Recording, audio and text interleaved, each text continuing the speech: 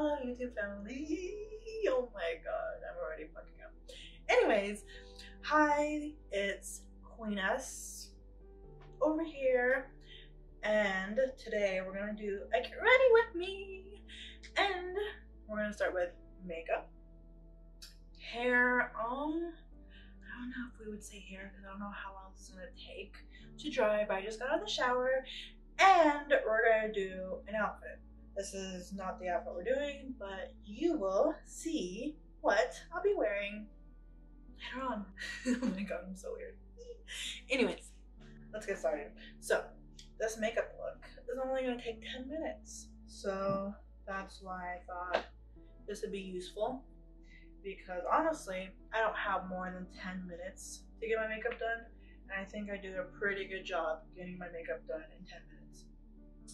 So first we're gonna start off with um, moisturizer. Honestly, this changed my life. I know I'm very dramatic, but not really. Like, let me tell you a little story. Um, so as a teenager, I used to have oily skin, used to have breakouts and everything. So I always thought I had oily skin, I'm gonna have oily skin for the rest of my life. And then I became an adult and kept thinking I had oily skin but I actually have dry skin now. And the only way I figured that out it was by going to Sephora and I had them do this whole beauty makeover and they told me, girl, you got dry skin, you need moisturizer. And I've never heard of moisturizer, never used moisturizer. And once I started using moisturizer, that changed my life. So tip number one is know what kind of skin you have and then go from there. So, but either way, you're gonna need moisturizer. So this one is really good. It's called Youth to the People, and it was expensive. It was like 50 something dollars. But I'm telling you, it was worth it because it's not oily. It's, I think it's not oil based. So that's why I really like it. The consistency is really nice. It's not sticky and gross. It just really hydrates you and moisturizes your skin. So I'm just gonna use my fingers to rub this in. And the reason why my skin is extremely red and pink is because I just exfoliated the hell out of it.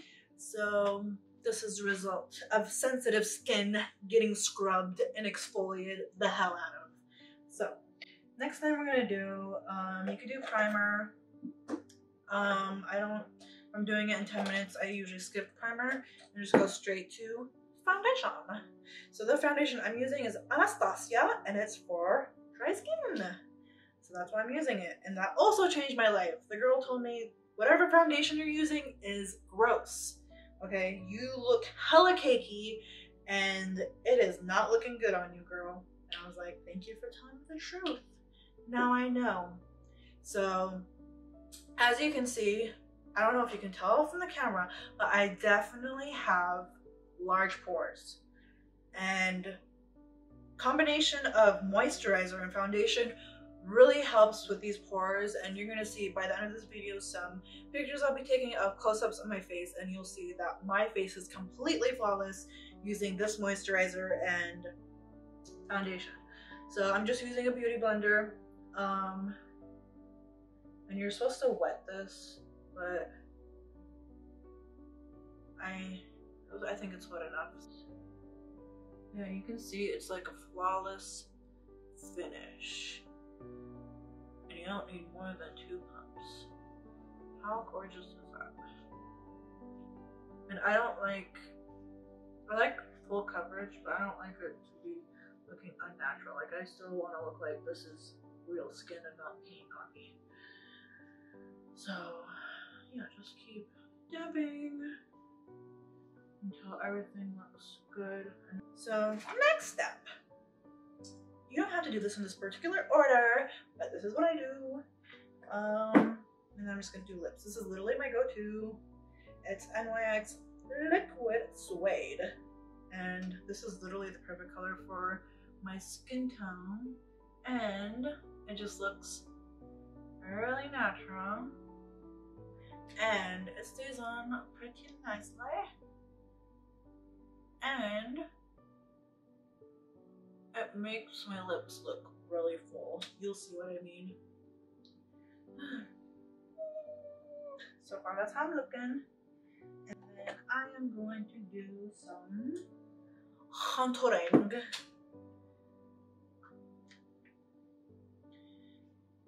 Don't judge me, but I need to get in I use the Wet n Wild contour palette, and half of it is missing.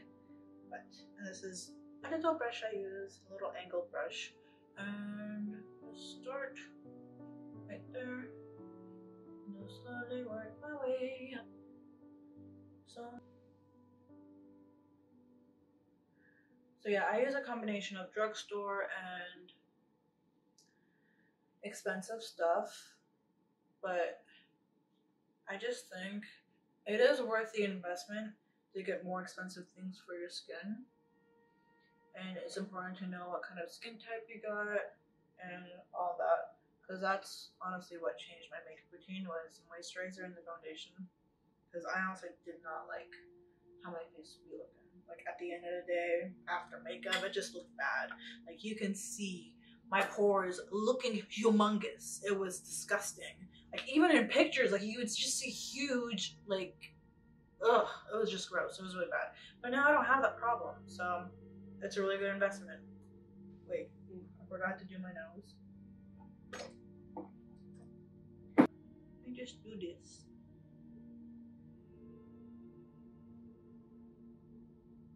Yeah, this is a makeup look I usually do. It Takes me 10 minutes in the morning before going to work. But it's taking me a little bit longer since I am chatting with you guys. Okay, now looking cute. Now I'm going to add some highlighter. Ooh, okay. I, I haven't heard of this brand, but it's called Milk. Okay, and I never thought of using this color, but this is the color I'm using. Look how I'm going to apply this. And look how pretty it's gonna look on my face. Ready? Okay, are you shook or not? Tell me, are you shook? Eyebrows. Yes. Of course, Anastasia is my bitch. Um, dark brown. And then just a normal little brush. And we gonna stroke them brows. Because I just love that strokey eyebrow look. So I just start from the brow and just stroke, stroke, stroke. my eyebrows. Me stroking my brow. Okay. I know I got a little pimple there, but what are we gonna do about that? We'll figure it out as we go. Um, now we're gonna do eyelashes. So let me show you my favorite eyelashes of all time. It is called Velour. They're mink lashes and they're $25. So definitely expensive, but I literally wear them almost every day and they look bomb. So I'm not complaining. Um, because it's definitely worth it. Like I'd rather do that than get eyelash extensions or mas- wear mascara. Sometimes I wear mascara, sometimes I don't because I have like thick lashes, so it's easy for me to just blend it with um, lashes. But I'm gonna do mascara for today.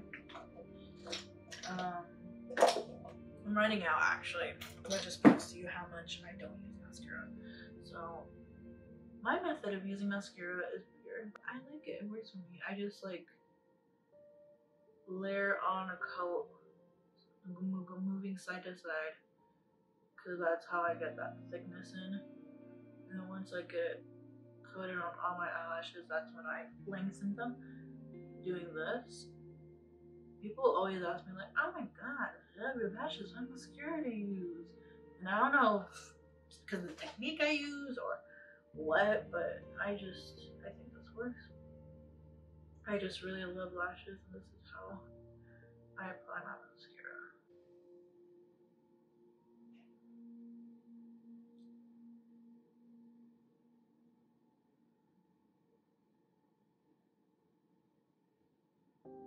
And there you go.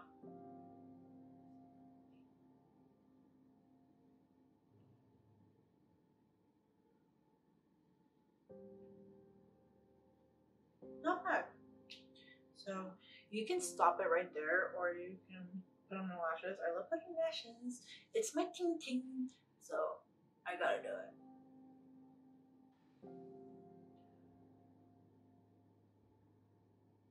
Oh my god, I'm pulling one. Before we do that, I need to put lenses at this point. So oh, that's good. Alright, good. Okay. Yeah, finishing up this look. We are going to apply the lash. Okay, by the way, I'm just loving the stroke of the eyebrows. I'm just all about that natural eyebrow look. Um, okay, dog.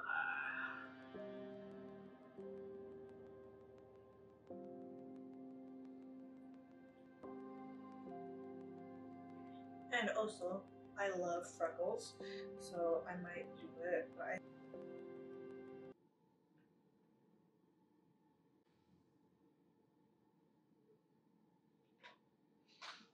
Okay, I'm back.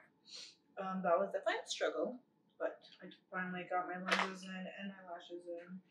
Um, but I am just gonna go over the lashes with some mascara, um, just so everything looks flawless.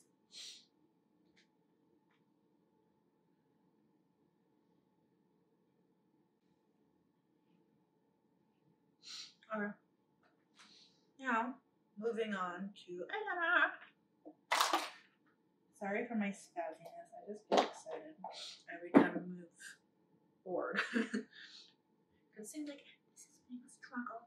So yeah, I like my liners to be um, kind of like blend in with the lash. So I don't know if you get what I mean, but I like to make it look like another lash. Yeah, just like whoop, right there. And then I close my eye. And then I just make a straight line. So it looks like that. And then the same thing. Ooh. And this liner, I can't tell you what brand it is because I've literally had it forever. And I probably should replace it, but honestly, it's bomb. Like, why would I replace something when it's been bomb? and It's been good to me for all these years. This, this liner is looking bad.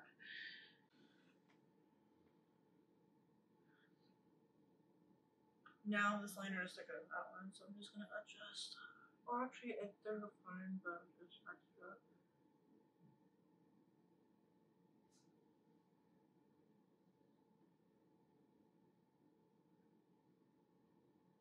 So yeah, that's that.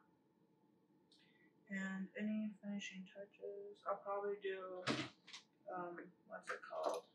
Loose powder, just to finish it up. So everything looks flawless. And then we should be good. And then we should move on to outfit. Oh, I forgot to tell you guys, I got a new wig. So that's actually what we're doing with the hair. So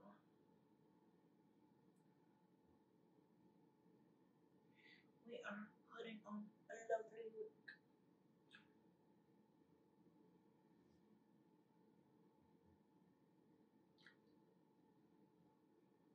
I think I look good.